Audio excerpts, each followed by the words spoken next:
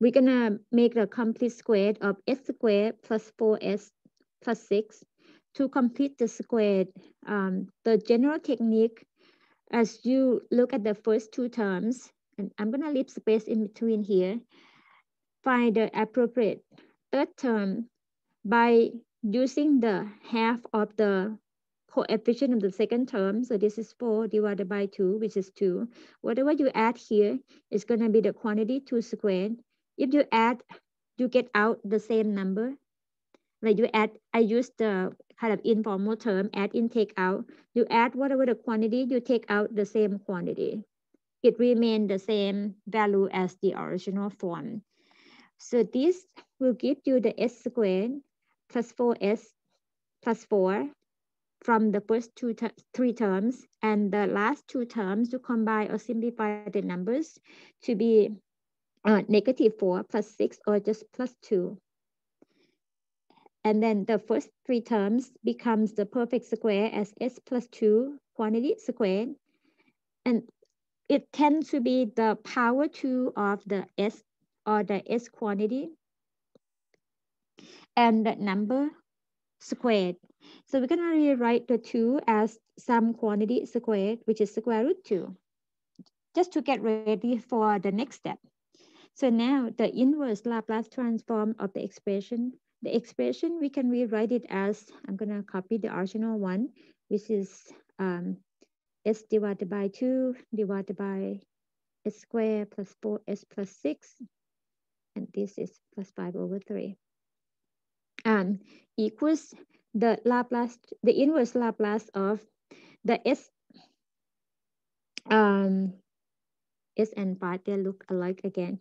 So S, S over 2 plus 5 over 3 divided by S plus 2 squared plus square root 2 squared it looks like it falls into the pattern of the sine and cosine, the Laplace or the inverse Laplace of the sine and cosine. One has the s, the other one has just a number. Now we're gonna separate into two inverse Laplace transform that share the same denominator. So the first one, the numerator can be s over 2. s over 2 means s multiplied by 1 half. I'm going to treat it as constant multiple. So one half multiplied by the inverse Laplace of the s divided by the s plus 2 squared plus square root 2 squared. Okay, and then the second term, similar way, can be 5 over 3 and then 1 over, well, run out of room, so I'm going to rewrite it.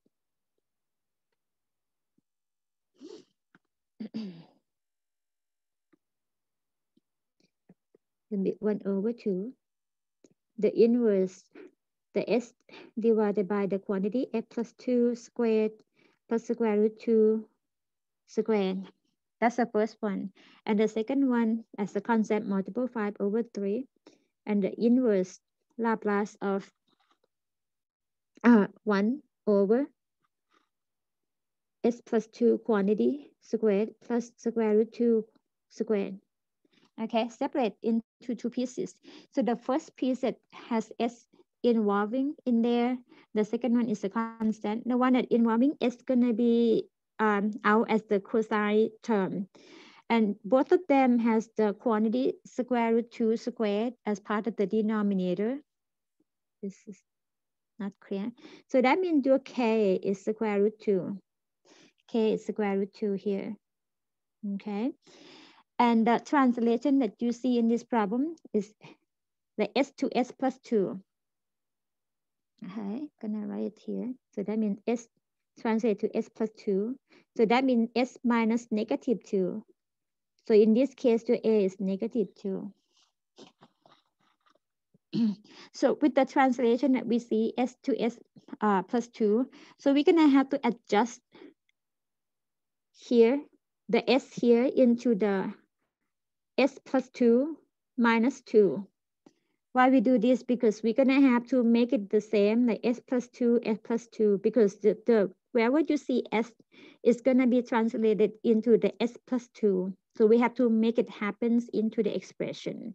So when you add in, you take out the same quantity. Now we have 1 half the inverse Laplace of the s plus 2 divided by s plus 2 quantity squared plus square root 2 quantity squared. That's one of them. And then the second one kind of separate into two inverse Laplace. The first one with the s plus 2, the second one with the negative 2, negative 2 with the coefficient 1 half, so it becomes negative the inverse Laplace of the 1 over the s plus 2 squared plus square root 2 quantity squared.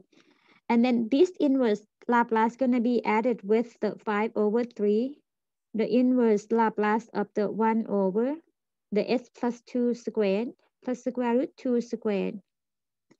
Okay, see they both have the same the same expression for the inverse Laplace transform. So you just combine the coefficient negative 1 and, and 5 over 3. So it becomes uh, what negative 3 plus 5, so going to be 2 over 3 for the second coefficient.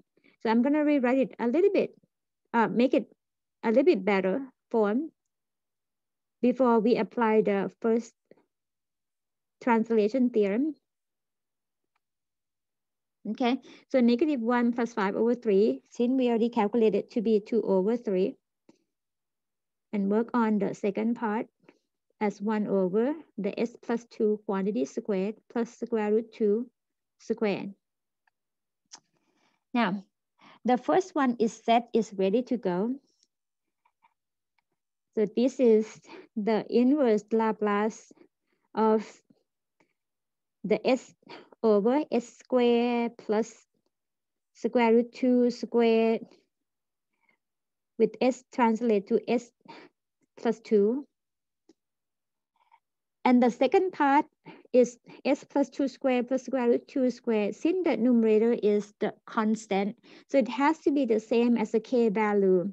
So to make it happen, multiply top and bottom by the same quantity. They multiply square root 2 and divide out by square root 2. So the second part becomes um, 2 over 3 times square root 2 because the bottom here goes out to join with the 2 over 3 and leave the square root 2 on the top as the coefficient or the, the numerator of the expression.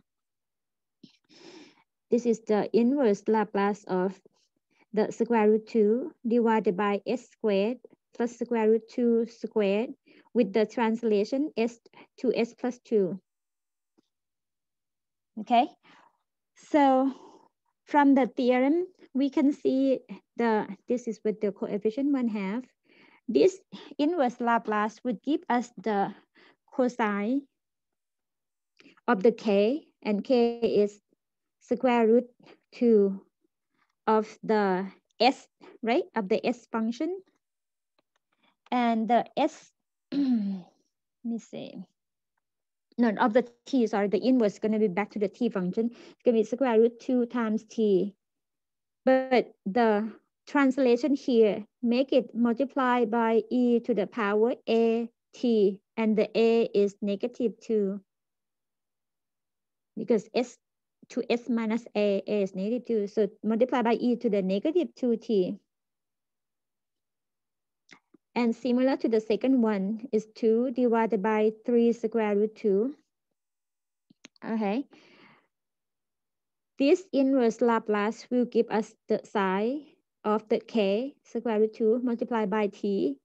The translation make it multiplied by e to the negative 2t. So this is the result of the inverse Laplace of, let's see, the original problem is the s,